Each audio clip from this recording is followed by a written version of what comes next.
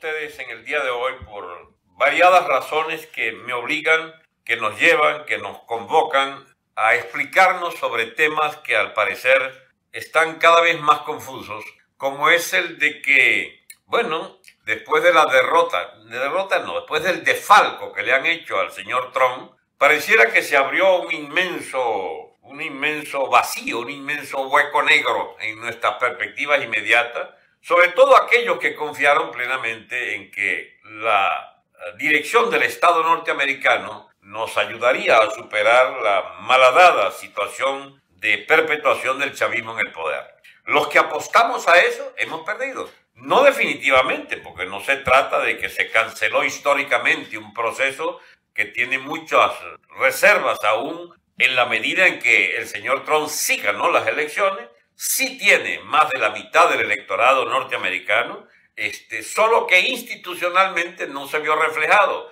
Primero por un Congreso que le es adverso todavía y por distintas gobernaciones que pertenecen a los llamados RINO, que es una sigla de, bueno, de republicano no confiable que está trabajando para enemigos. Y Trump está arreglando cuentas con ellos.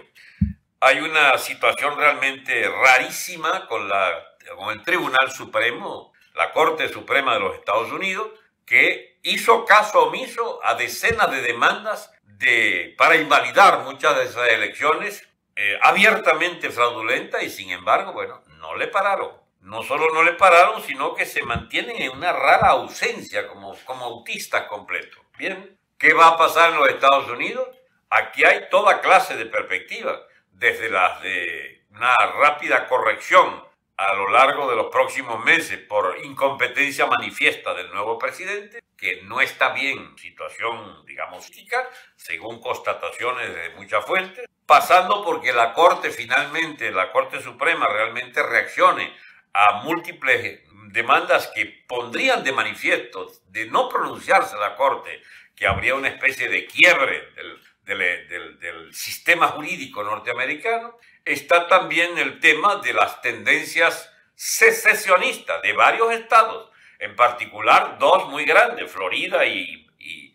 Texas, que empiezan ya a, a, manifestarse abiertamente contra ejecutorias del Poder Ejecutivo Federal que, bueno, pueden llevar a fenómenos de, eh, de carácter centrífugo, es decir, que tienden a apartarse del Estado de la Unión hay quien crea que esto es un disparate, pensar siquiera que los Estados Unidos pueden desagregarse. Pero, mis amigos, tomando en cuenta la historia de este país, la historia de este país es la historia de un Estado muy fuerte que fue logrado a punta de guerras intestinas, la guerra de secesión, la guerra contra la población originaria, la guerra contra México, es decir, la conformación del actual Estado, Estados Unidos de este Estado de la Unión es un proceso accidentado con mucha violencia incluida y el establecimiento de una férrea ley federal que les une a todos. Si esa ley federal se quebranta,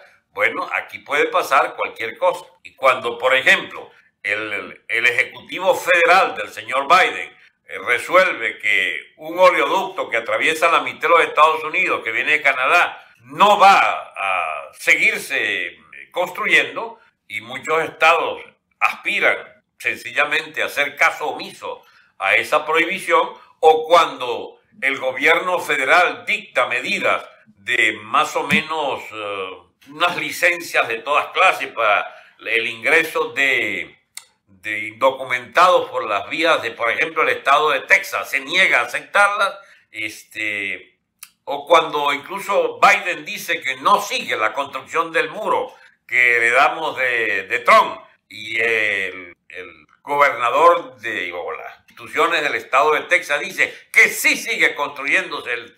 el, el muro financiado por los propios tejanos, entonces tenemos como, como, escenarios muy complejos que muy difícilmente podemos dilucidarlo nosotros con un conocimiento parcial, pero esto de que esta etapa de lo del defalco electoral terminó, y que Trump tiene que quedarse quieto. Bueno, hasta ahora han logrado que Trump efectivamente se mantenga sin ninguna eh, posición subversiva respecto al status quo actual dominado por el Partido Demócrata en una mascarada de poder que no se sabe realmente si aquello existe o no existe, esa presidencia Biden, pero lo que sí es constatable es que se va a conflictos más o menos importantes antes de las elecciones dentro de dos años y que renuevan pues un tercio del Congreso y de las gobernaciones de Estado. Y ya empezó una batalla importante de reagrupamiento interno del Partido Demócrata, del Partido Republicano, en torno a, la, a una derecha, la llamada CIPAC, un comité allí que asocia el segmento más conservador del partido y que al parecer está siendo mayoritario ya. Y no solo eso, sino que le han dado la potestad a Trump de escoger las personas leales a sus propuestas políticas de, ideario republicano originario de defensa del Estado federal y de defensa de las instituciones de los distintos estados y de, la, de las enmiendas, por ejemplo, la del armamento de la población, etcétera, todas esas, las enmiendas que quieren ser derogadas o eh, disminuido en su impacto y el Partido Republicano en esta ala conservadora al parecer tiene fuerza suficiente para impedir que toquen esas enmiendas, que manténganse, que se mantengan entonces las prerrogativas de los ciudadanos, de los derechos individuales. Amigos, esto aquí no está, eh, no presenta señas de que hubiese una derrota real de Trump. Aquí hay una especie de ola del conservatismo, del republicanismo, que no ha terminado, porque Trump dejó su impronta en esas instituciones y sobre todo en una especie de revuelo nacional de la conciencia de los ciudadanos norteamericanos, defendiendo sus libertades individuales y defendiendo las prerrogativas de los estados y de una especie de, ¿cómo pudiera decirse, chico? De tinglado de ideas fundamentales, fundacionales, del Estado norteamericano que da vigencia más que nunca a eso que llaman la derecha, pero que en realidad es el conservatismo de las ideas fundadoras de los propios Estados Unidos, que quieren ser puestas en entredichos por estos liberales, por estos segmentos de la izquierda, por los estatistas, por los socialistas, por los partidarios de las clientelas políticas, por los partidarios de esta especie de decadencia en la que ya se ha metido los Estados Unidos desde la guerra de Vietnam hasta hoy. Aunque ya hubo un primer gran intento por parte de Reagan, por parte de y por parte de Trump de enderezar estos temas. Este, ahora, en el trasfondo de todo está la gran discusión sobre si va a mandar o va a seguir mandando o no el llamado Estado profundo. La gente a veces se confunde al creer que esto es algo eh, muy oculto determinada, de unas determinadas fuerzas que son capaces de cualquier cosa sin que se dé cuenta la población. Y la población está cada vez más pendiente de que hay un estado profundo que va exhibiendo cada vez más sus características que le repugnan al conjunto de la población. Va, por ejemplo, siendo evidente que el Estado profundo incluso atraviesa los dos partidos, es decir, coloca élites demócratas y élites republicanas a ver cómo armonizan en el Estado profundo, es decir, en lo que no se ve la orientación del Estado americano, la orientación de la economía y de la política. Y hay una cantidad enorme de discusiones pendientes que no se zanjan fácilmente con un cambio de presidente, porque presidente había cambiado, por ejemplo, de Clinton a Bush. Y ocurre que con Bush del Partido Republicano siguió la misma política que Clinton en lo del Medio Oriente o Afganistán. Y esto a su vez lo continuó Obama. No hubo grandes cambios. Hay cambios, algunos cambios casi que cosméticos en la economía, pero en la política exterior, en la, por ejemplo, en el desenganche de respecto a la a la Guerra Fría con, con Rusia, sí hubo una, un mantenimiento de estos temas en la, entre lo, de Clinton, lo de Bush y lo de Obama. Pero hay una ruptura del partido republicano con Trump contra toda esa tesis que había que seguir convirtiéndola a, a Rusia en el enemigo fundamental en política exterior. Hubo en los tiempos de Reagan, de, desde Nixon incluso, Reagan, el papá de Bush, Bush, Clinton y Obama, este, hubo una continuación de la política hacia China, de facilitar un proceso de acercamiento con China y de tolerarle, incluso auspiciarle un crecimiento económico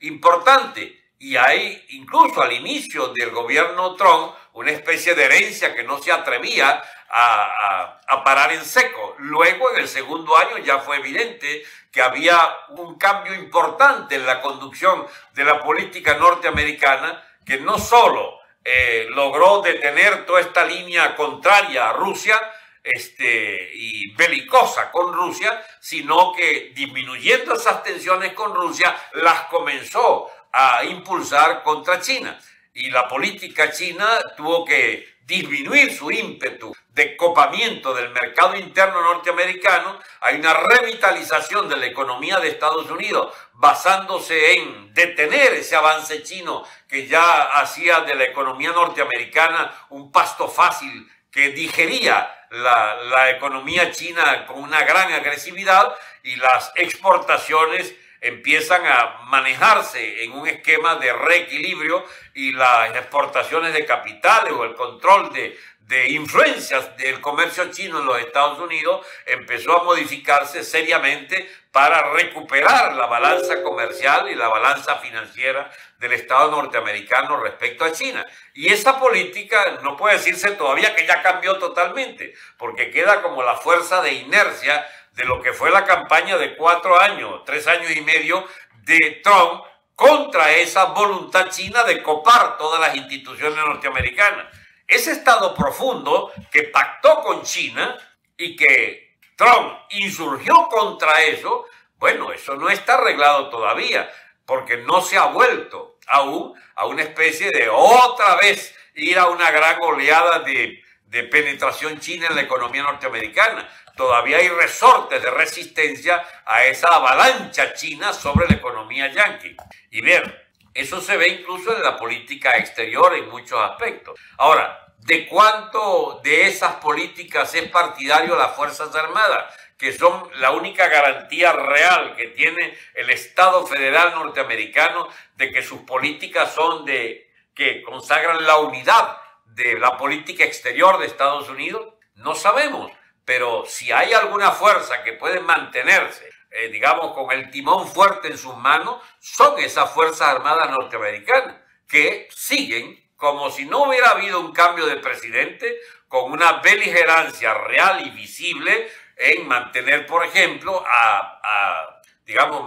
manteniendo a raya los intereses chinos allá en el Pacífico, en el Pacífico Oriental este, el Pacífico Occidental, o sea, el que pega China, depende de donde usted esté ubicado, los mares de China, que han sido un, ¿cómo se llama? Un espacio de conflicto en la fortaleza con la que la Marina norteamericana hace presencia allí y el intento eh, de China de tratar de disminuir esa presión de la Marina norteamericana en lo que se llama el mar meridional de China y que circunda a Formosa y el estrecho de Taiwán, pues, este, bueno, ese es un tema que eh, sigue siendo álgido, un poco silenciado, no se habla mucho del tema, igual que sobre el Medio Oriente, la beligerancia contra Irán, por ejemplo, que mantuvo, que mantuvo Trump, hay, hay al parecer indicios de una disminución de esa de esas eh, tensiones,